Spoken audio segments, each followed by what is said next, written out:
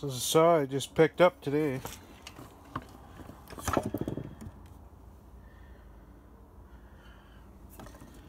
It's like brand new.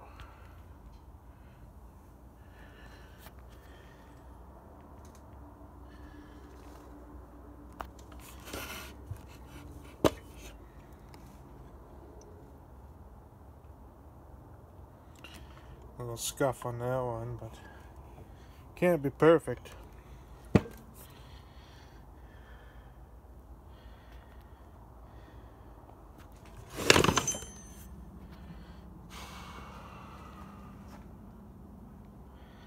Nice looking saw.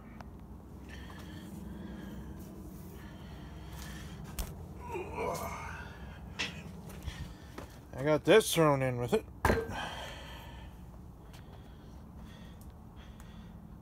Nice little Mac 1010. He said it was missing a, yeah, see he's missing a chunk down here. Imagine that's probably kind of common with these old saws. Someone's been into it, you can see some red silicone, maybe can't. He said it runs, but it leaks oil, so chain oil.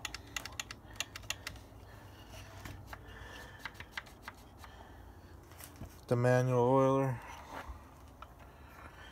Not gonna fire them up because, uh, well, it's like 10:30 at night. So, but look, it says McCulloch on the bar still. Anyways, uh, thought I'd make this video because you guys like saws. I'm a new subscriber to this channel, so just thought I'd put that out there. Yeah, maybe a little rough on that cover there.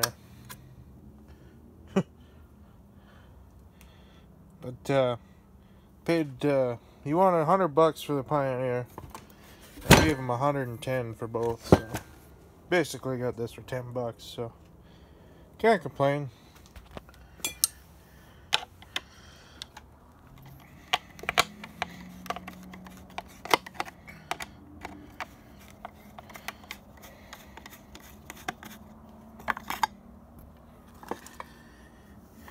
Yeah, new filter's seen better days, but a little bit of sawdust never hurt an old Mac, right?